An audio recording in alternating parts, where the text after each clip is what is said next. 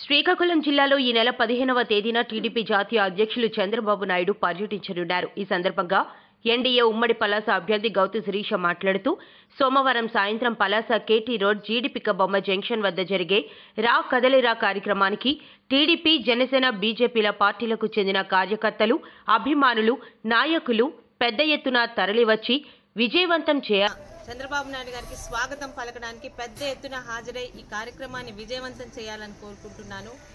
super six పథకాలతో పాటు రేపు ఉదయం పలాసాలో ఈ ఐదు సంవత్సరాలు కోల్పోయిన అభివృద్ధి సంక్షేమ పథకాలను ముందుకు తీసుకెళ్ళడానికి